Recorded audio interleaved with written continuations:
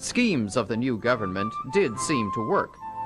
Help was provided for subsistence agriculture. The forest industry was developed. And the fishery was converted to fresh frozen, for which there was a bigger market. Social programs that had been so desperately needed were also put into place.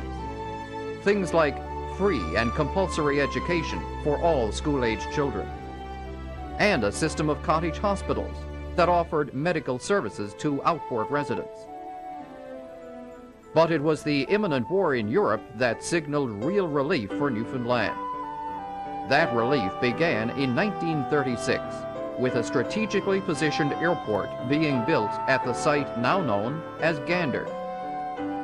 And when England declared war on Germany in 1939, the increased demand for Newfoundland products like iron ore, newsprint, and fish led to unprecedented prosperity.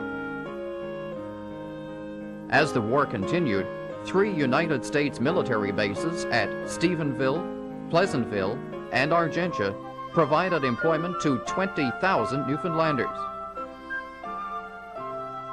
When the war ended, the question of the country's future administration was raised again. Quite simply, there were three choices. A continuation of the Commission government, which very few supported. A return to self-government. Or a third option, Confederation with Canada. An assembly was formed to investigate this third proposal. One member of that assembly was a popular radio commentator and journalist by the name of Joseph Roberts Smallwood. Smallwood returned from the assembly firm in his belief that Confederation was best for Newfoundland. But for many, the issue was not that simple. And I think it's, it became so very emotional because to a lot of people it meant that their uh, nationhood was in fact under threat. By the 1940s, I think Newfoundland had really developed a distinct society, a distinct character. Um, there had been very widespread hostility to, to Confederation for, for many years.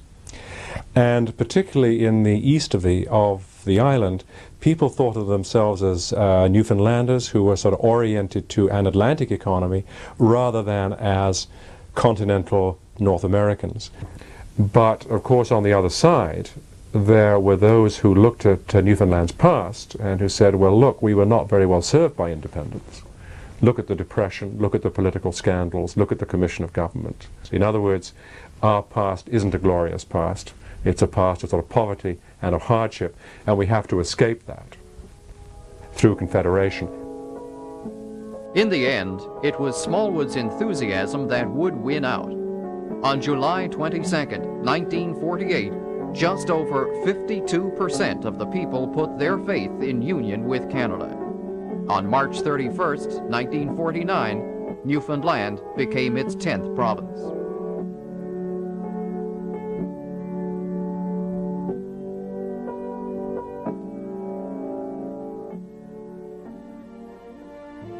With Joe Smallwood at the helm, Newfoundland headed into a new era. It seemed as if her economic problems had been solved. In Labrador, the Iron Ore Company of Canada had just been established, and mining was underway. Just a few years later, the huge hydroelectric potential was being developed on the mighty Churchill Falls. On the island, Smallwood poured millions into new industries.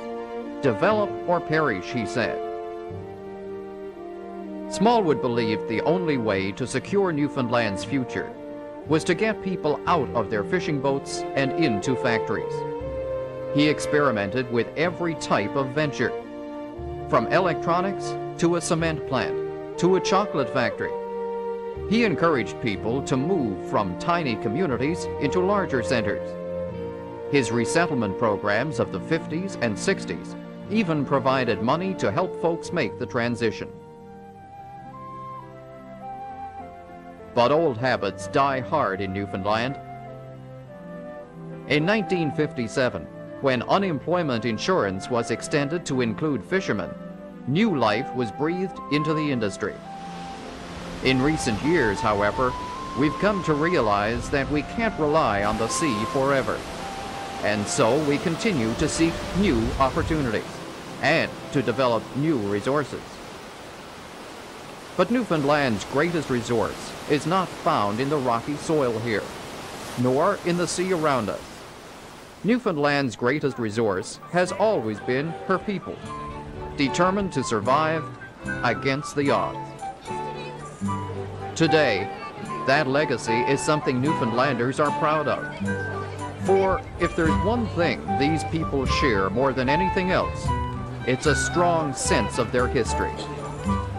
And it seems no matter where they live, they carry with them a profound appreciation of their home. A home that's taken 500 years to build.